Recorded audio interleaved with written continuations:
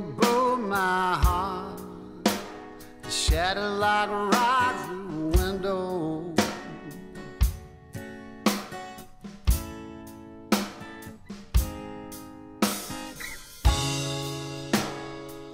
I thought we had.